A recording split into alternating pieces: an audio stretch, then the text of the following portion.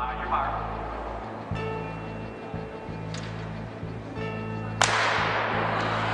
600-meter underway. Heather Dorniden in Minnesota finished second this event a year ago. She was in lane four. And Dorniden is probably going to be your favorite. She actually won the NCAA championships in 2006 in the 800, but she only won one Big Ten championship in the two years. Three laps this event, 600 meters, three times around the 200-meter track here at the field house. What a bold move by Fawn. She's looking very confident, and the Penn State runner is just running amazing today. She did win her heat in the 400, but ended up taking fourth overall. That's Fawn Dorr moving into the lead, sophomore from Penn State. Dorniden running second.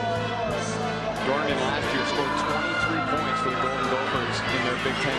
championship, so they're really relying on getting a lot of points from her this weekend, and she's just coming by Fawn Dorr now in the home stretch, heading into the bell lap.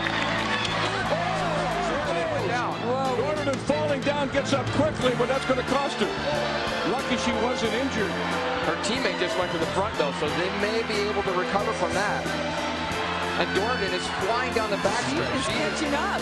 she is going to catch Fawn Dorr, and she may catch the leader. Wow. Wow. She's got fun. This is a gutsy effort by Dorniden. Can she pull it off? She's moved into third. Dorniden coming down the stretch from the outside. Dorniden coming on strong. Dorniden all the way. Dorniden. Wow, unbelievable.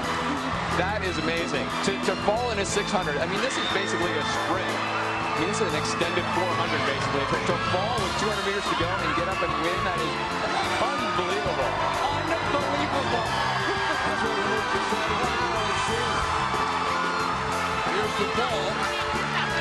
she trips on Fawn's shoe. It looked like Fawn just clipped her heel, and she went down just before the bell lap. Dorr had to her to avoid a collision. And she is powering down this home stretch, just doing everything she can to win this heat. Now we'll just have to wait and see if her winning time was fast enough to beat the winning time out of the first heat. That's going to be the big question. Did that fall break their momentum enough so much that, that they're not going to be able to, to actually win the race? So Heather Dorniden wins it.